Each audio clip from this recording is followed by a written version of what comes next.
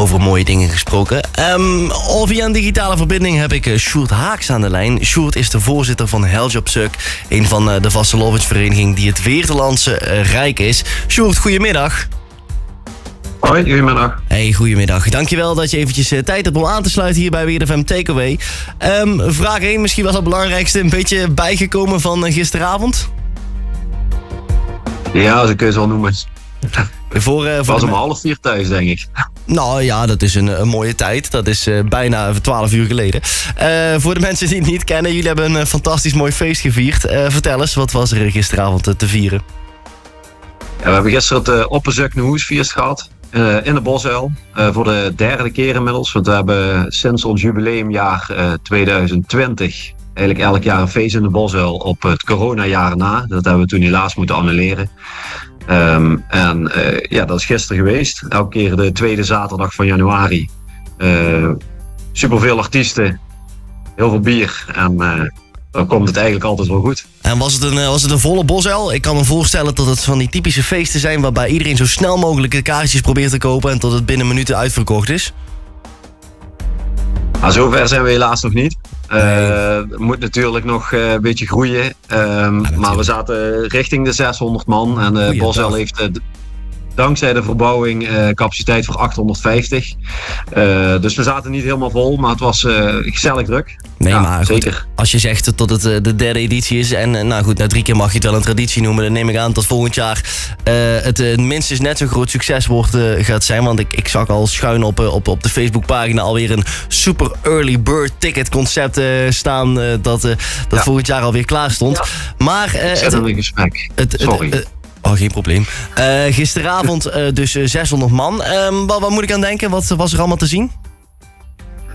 Um, nou, gisteren was onder andere John Dana er natuurlijk. Ja, die komt overal. Hè. Anne Frans, Moeropetatie, de Cupjes hebben we gehad. Spik en Span. Maar de leukste eruit vonden wij zelf Commelage. Uh, die hebben we hier in Weert en omstreken nog nooit gezien. De hele band mee. Oh, wat leuk. Uh, het was één groot feest. Ah, lekker. Ja, super ja, gaaf. Avondvullend programma. Ja, dan kan ik me ook snappen dat je om, om half vier pas een keer uh, thuis, thuis komt aankakken. maar zo'n voorbereiding van ja. zo'n feest. het is een traditie, dus ja, je, je moet er eigenlijk misschien vroeg mee beginnen... om het nog groter, nog beter, nog leuker te maken. Hoe, hoe groot is de voorbereiding? Waar moet ik aan denken?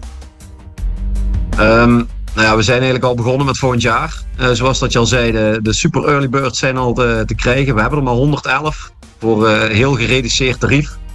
Dus uh, er zijn er al een heel deel van weg. Dus als je er volgend jaar 100% zeker bij wilt zijn en natuurlijk wil besparen op een kaartje, dan moet je ze nu toch nog wel echt gaan halen via de website van de Bosheil. maar we hebben eigenlijk al een aantal namen voor volgend jaar vastgelegd. We zijn nog puntjes op de i aan het zetten. Um, maar dat is ook het voordeel aan het samenwerken met de Bosuil. Het is een uh, professionele locatie met alle uh, voorzieningen al in huis. Uh, echt kwaliteit wat dat de jongens van de Bosuil leveren. Dus wat wij eigenlijk voornamelijk doen is reclame en een leuk programma neerzetten. Zorgen dat de mensen binnen zijn. En voor de rest is de Bosuil er eigenlijk heel erg goed in om de avond af te maken in licht, geluid, techniek. En natuurlijk een lekker koud biertje erbij. Ja, ook niet veel onbelangrijk. Um, je noemde net al uh, artiesten voor volgend jaar. Is daar al iets over te zeggen of is dat nog uh, heel erg geheim? Ja, ja, ja, we kunnen een tipje van de sluier oplichten. Bjorn en Mieke zullen er volgend jaar zijn. Leuk. ook die zie je niet vaak in Weert.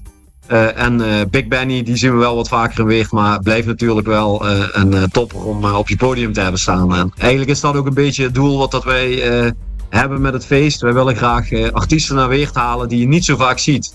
Uh, die wel heel groot zijn in Limburg en in omstreken. Uh, maar waar dat we een beetje een ander programma dan standaard in Weert te zien is, neer kunnen zetten. Zodat ook die artiesten een keer hier aan de bak komen. Ja, want ik, als ik het ook zo vergelijk. Um, je hebt nu in deze tijd, pardon, je hebt nu uh, bonte avonden.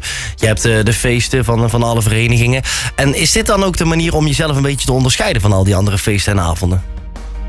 Um, ja, eerlijk gezegd, uh, misschien wel. Um, wij houden zelf uh, ook van een heel goed feestje. Uh, wij zijn niet zo van de recepties, et cetera. Dat hebben we eigenlijk vanaf het begin van het bestaan van de vereniging in 2009 gezegd van ja, wij zoeken toch iets meer richting de, de jeugd, nieuwe, nieuwe dingen, leuke dingen. Um, dus vandaar dat we graag het op zo'n manier neer willen zetten. Echt gewoon een feest waar dat iedereen welkom is. niet te veel onderbrekingen, lekker muziekje, koud biertje erbij. en dan genieten van wat, wat er op het podium staat. Ah, leuk. Is het dan ook dat, tot de gemiddelde leeftijd wat lager ligt? Is het misschien de, ja, de, de, jonge manier van de vaste Lovens vieren in, de, in deze weken? Of is dat, dat, dat, dat toch niet? Ik, ik moet zeggen dat ik, dat ik toch wel gezien heb dat het best wel een grote mengelmoes is. Okay. Er stond best wel veel jeugd. bijvoorbeeld de druppeltjes waren er gisteren ook. Um, dat is al een heel jonge nieuwe vereniging van Leuke. En, um, maar ook de, de, de echte gevestigde orden, zoals de brugwachters, spookjegers, uh, daar waren er ook van aanwezig. Uh, ook een, een vol trouwens, uh, met Prins Luc van de brugwachters was er ook bij. Dus je ziet eigenlijk alle kanten van de carnaval voorbij komen. En waar het vooral om gaat, is genieten van goede muziek en van leuke artiesten. Ah, dat is eigenlijk wat, dat, wat dat we centraal zetten. Ja, en ook een goede manier om weer om alle verenigingen bij elkaar te krijgen. Dat sowieso sowieso.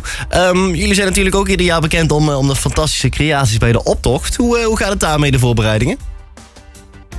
Ja, we zijn toch alweer wat aan het bouwen. Na een aantal jaar uh, corona, dat het stil heeft gelegen, uh, begon het toch wel weer te kriebelen. Dus we hebben, we hebben wel wat moois op poten gezet. Niet zo, niet zo gek groot als uh, ons 1 keer 11 jaar, maar dat is ook behoorlijk lastig te overtreffen, moet ik ja, eerlijk dat zeggen. Was een, dat was een mooie. Um, maar is er al een, een, een, een tipje van de sluier of is het nog een groot geheim? Laten we het zo zeggen dat je dat uh, tijdens de grote optocht uh, op uh, carnavalzondag maar moest gewoon bekijken. Dat is een hele ja, goede reden. Daar ga ik er niet te veel over verklappen. Nee, groot gelijk. De, de zondag inderdaad met, met de vastgelovens gewoon lekker komen kijken. Um, hebben jullie nog een problemen gehad met de locatie vinden van het bouwen? We hoorden dat dat hier en daar toch wel, wel wat, wat, wat aanwezig was. Of is dat een toekomstprobleem en nu gewoon lekker de, de ruimte gevonden om, om de wagen te bouwen? Um, nou, dit is uh, eigenlijk het tiende jaar, jubileumjaar dat wij bij uh, Martin Hogeveen bouwen. Um, en daar zijn wij ook echt heel erg dankbaar voor en blij uh, mee dat we dat mogen en nog steeds mogen. Um, als dat er meer mensen zoals hij zouden zijn, dan zou de optocht echt er heel erg anders uitzien. Dus wat dat betreft zijn we daar heel erg blij mee. En hebben wij gelukkig geen problemen met de bouwlocatie. Wij kunnen gelukkig daar terecht. en daar zitten we eigenlijk al heel lang. Dus uh, wat dat betreft, ja, zoals ik al zei, wij veel geluk en inderdaad veel problemen om dat te zoeken. En dat het komt natuurlijk ook door uh, uh, dingen in verzekeringen die tegenwoordig veel strenger zijn. Ja, precies. eisen die ze daar, daaraan stellen. Hè? Want het is natuurlijk heel kort door de bocht gezegd een, een, een, een brandbaar geval op wielen. En er hoeft maar iets mis te gaan. En de, de tent fikt af. En ik kan me voorstellen dat heel veel mensen daar toch wel een beetje schrik voor hebben. En ik, ik klop het af. Bij, eh, even op tafel. Dat is bij ons gelukkig nog nooit gebeurd. En dat willen we graag ook zo houden. Nee, dat begrijp ik. Nou, goed om te horen dat dat in ieder geval bij jullie niet zo was. Uh, vandaag denk ik vooral even lekker bijkomen na, een mooi feestje. Um, voor mensen die geïnteresseerd zijn in volgend jaar. Het is de tweede zaterdag van januari, zei je net hè? Ja, 11 januari. 11 januari 2025 mogen we alvast noteren. Ja. Uh, tickets zijn dus altijd koop via de website van de vereniging? Uh, nee, via de website van de Bosuil. Okay. als je naar uh, www.debosuil.nl gaat en dan moet je heel even op de datum zoeken volgens mij. En dan kom je bij de Super Early Birds terecht voor uh, 11,11 euro.